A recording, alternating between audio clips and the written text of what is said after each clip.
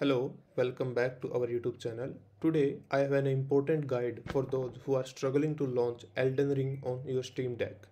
If you are stuck on loading screen or the game just will not start, I have got you covered.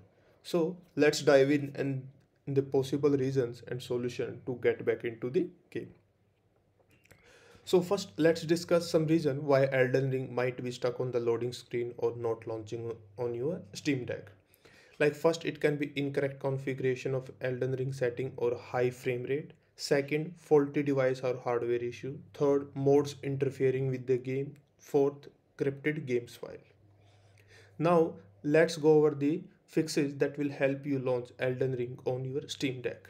First is turn off your uh, Wi-Fi and launch the game. In some cases, user have successfully launched the game after disconnecting from the Wi-Fi.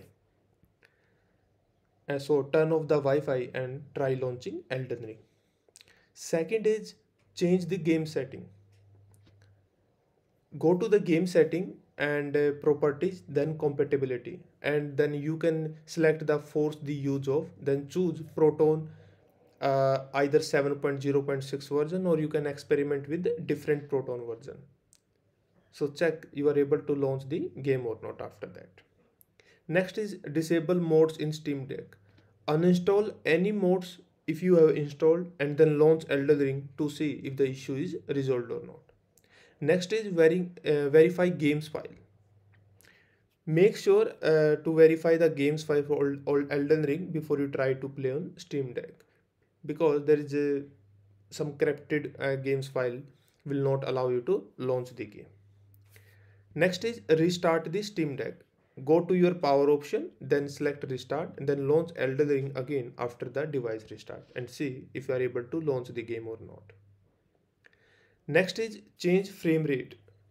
Always uh, make sure you have the lowered frame rate if you are a quite high frame rate in your steam deck.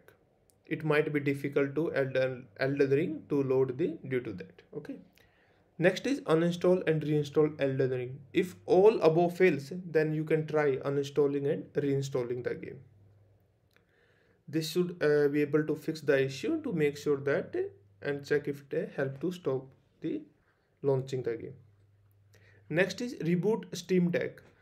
Perform a complete power cycle by holding down the power button for 10 seconds and then wait for device to reboot and then try to launch or play Elden Ring again. Finally, if none of the above solution work, then you need to contact the Steam Deck support team for further assistance. You can find the direct uh, contact link in the, this article. I'll provide this article also link in the description. You can go and check out. I hope you should be able uh, you able to resolve the Elden Ring loading or launching issue on your Steam Deck. If you found this guide helpful, don't forget to hit the like button and subscribe for more gaming tips and tricks. As always, thanks for watching and happy gaming.